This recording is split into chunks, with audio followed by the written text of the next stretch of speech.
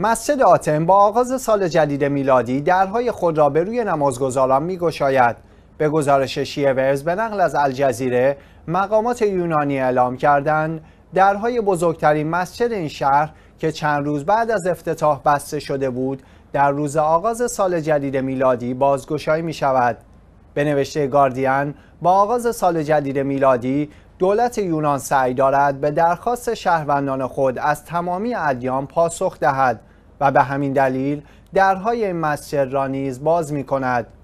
جوجیوس کالانتزیس دبیر کل وزارت آموزش و امور دینی یونان نیز گفته تصمیم گرفتم تمامی اماکن عبادی را برای ارائه خدمات به شهروندان گشوده شوند به گفته وی اما تجمع بیش از 25 نفر در این اماکن مجاز نیست محمد سیسی زکی امام جماعت این مسجد یونان که از طرف دولت انتخاب شده است گفت در اوایل ماه نوامبر سال گذشته درهای این مسجد به مدت پنج روز بازگشایی شد و سپس به دلیل شیوع ویروس کرونا بسته شد.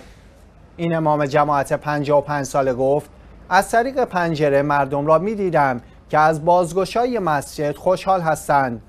حدود 250 هزار مسلمان در آتن زندگی می کنند و بیشتر آنان پاکستانی، سوری، افغانستانی و بنگالی هستند.